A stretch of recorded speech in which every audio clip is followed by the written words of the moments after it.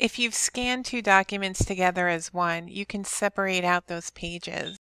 First, retrieve the document and then click on it to select it. Then in the document viewer, you can right click, send to, document separation, or you can right click on your search results, send to document separation.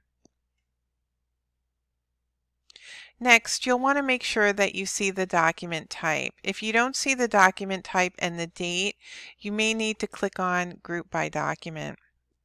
If your page looks like this, click on Group by Document so you can see the document type and the date. Once you see this in your workspace, you can hover over any page to get a bigger view of it. You can switch the pages around and change the pagination. But to separate a document, just drag a page out of that workspace. It'll create another document that you can re-index by clicking the key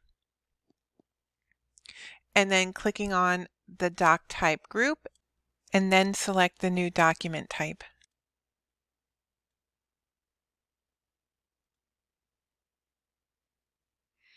If you need to, you can change these keywords by clicking on the lookup, the key icon, and entering in the new keywords. When you are finished, click on Save and Remove to save this new document. And then click on Save and Close to finish this task. And that's how you separate a document.